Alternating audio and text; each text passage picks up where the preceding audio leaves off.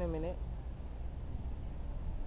Is that the duck is trying to bully the chickpea? Told you. Told you.